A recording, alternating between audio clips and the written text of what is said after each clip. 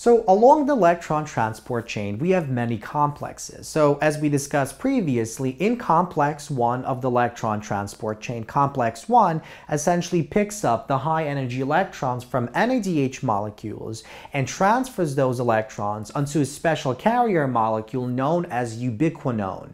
And when ubiquinone grabs those electrons, it is reduced into a ubiquinol form that is given by QH2. So this molecule is known as ubiquinol. Likewise, on complex 2, the high energy electrons from FADH2 molecules are also transferred onto ubiquinone to reduce ubiquinone into ubiquinol. And the QH2, the ubiquinone, then travels onto complex 3.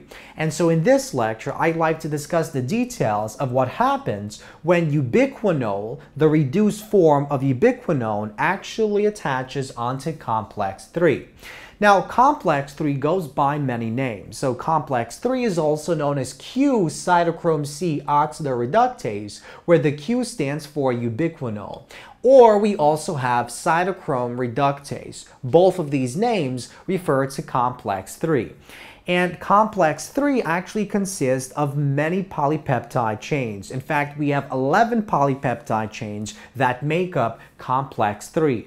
Now, the entire function, the entire purpose of complex 3 is to actually transfer those high energy electrons from QH2 from ubiquinol onto another carrier molecule, another electron carrier used by the electron transport chain known as cytochrome C. And so in this lecture, we're going to discuss the details of how this transfer actually takes place. So Let's begin by focusing on the three major components that you should be familiar with that we find on complex 3.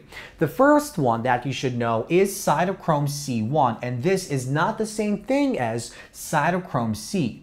Even though they're both cytochrome molecules, and cytochrome molecules are proteins that contain heme groups that can bind and transfer electrons, cytochrome C and cytochrome C1 are not the same types of molecules. Now, cytochrome C1 actually contains a single heme group, but in the structure in complex 3, we also have another cytochrome molecule known as cytochrome B, and this molecule actually contains two different heme groups that are capable of actually attaching electrons. And finally, we also have a structure known as the Rieske group, and this contains the 2Fe2 sulfur group that can also bind electrons and transfer electrons onto different groups. So the entire process by which electrons are transferred from the ubiquinol onto the cytochrome C molecule is known as the Q cycle. And the Q cycle is actually composed of two major mini cycles. So we have the first mini cycle shown here, we also call the half cycle, and the second half cycle, the second mini cycle is known is shown here. And together these two half cycles, these two mini cycles make up a single Q cycle. So the process by which electrons travel from the QH to the ubiquinol that is produced on either complex 1 or complex 2, of the electron transport chain, onto another carrier molecule known as cytochrome C is known as the Q cycle. And by the way, cytochrome C is actually a water-soluble protein and it is attached onto the intramembrane space side of this complex 3. So this is the matrix side. This is the inner membrane of the mitochondria. We have complex 3, and this is the intramembrane space. And this protein carrier molecule, cytochrome C, when it actually attaches a single electron, when the oxidized version is reduced, the cytochrome C will actually detach itself, and because it's diffusible in water, it basically travels through the fluid and eventually attaches onto complex 4 4 found on the intramembrane side of complex 4 as we'll see in the next lecture. So let's begin by summarizing what takes place on the, in the first mini cycle, the first half cycle of the Q cycle. So we have ubiquinol attaches onto complex 3 and when it attaches, the two protons, two H plus ions, are basically pumped, they're transported to the, to the um, intermembrane space of the mitochondria.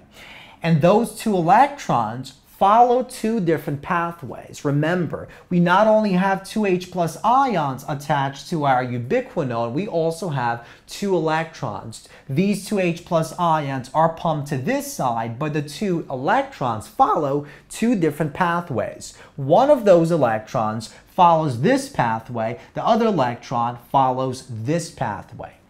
So we have one electron being transferred onto the 2Fe 2-sulfur group found on the Rieske center, and then that, that same electron moves onto the heme group of cytochrome C1.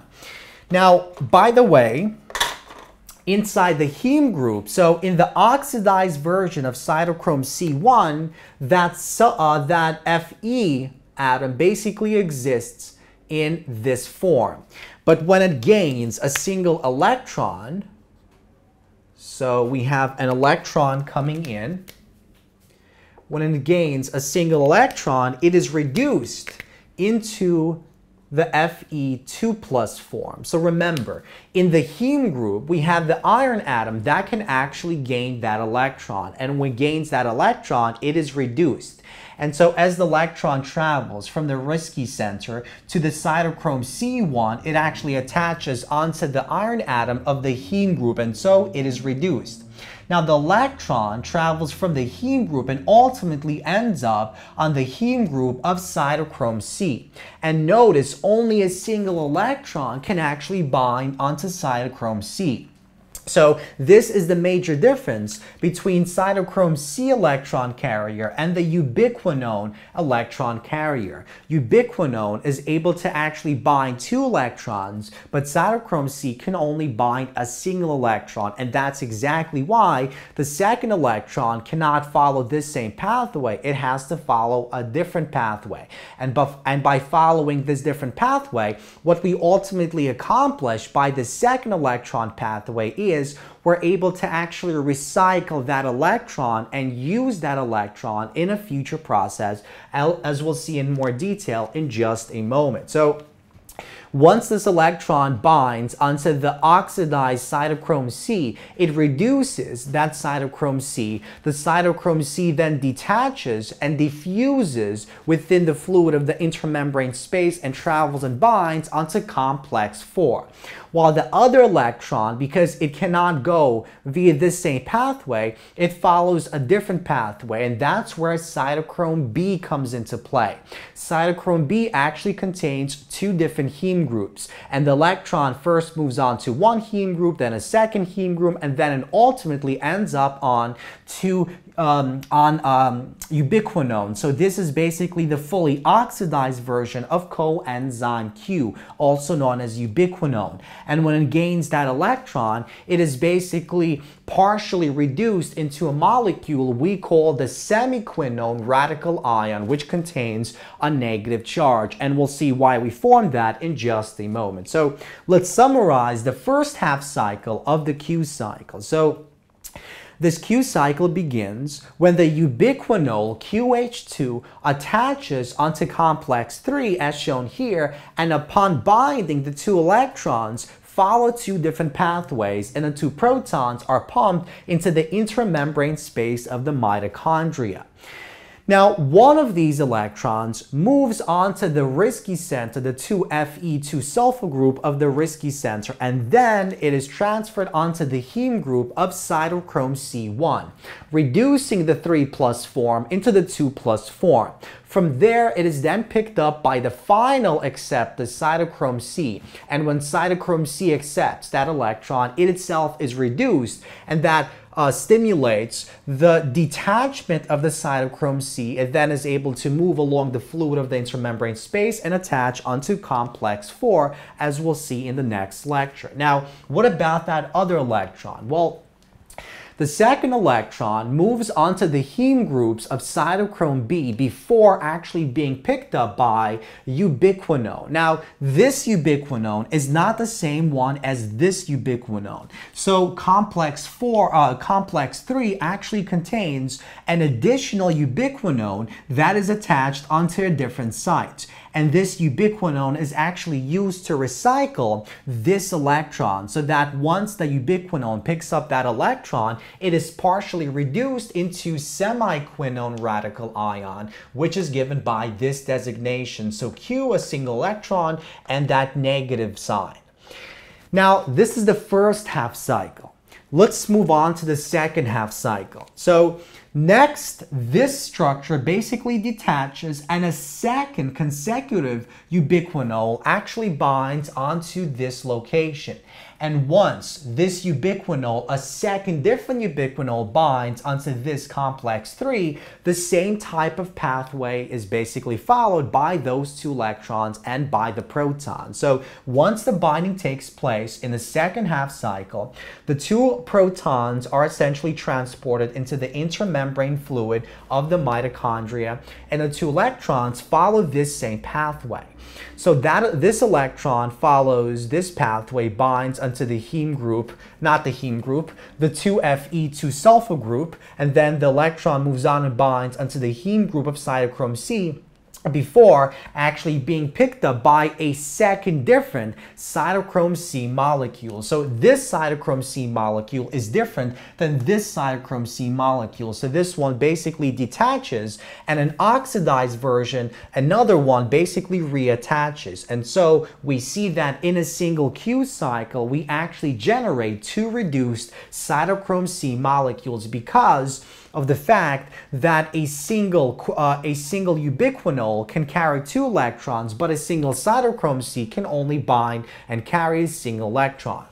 Now the other electron basically moves, attaches onto the heme groups of cytochrome C of, of cytochrome B, and then that electron is picked up by the semiquinone radical ion and now gains two electrons, and then it takes two protons from the matrix of the mitochondria, it picks up those two protons to form ubiquinol, and the ubiquinol detaches from complex 3 and enters the inner membrane of the mitochondria, where now we can use this, uh, this ubiquinol that is formed to attach it onto this complex and use that ubiquinol to basically generate those reduced cytochrome C molecules. So the entire point of this second pathway here is to basically use or recycle those electrons so that we can actually use those electrons in a useful way so that we don't lose the electrons and we can recycle and reuse them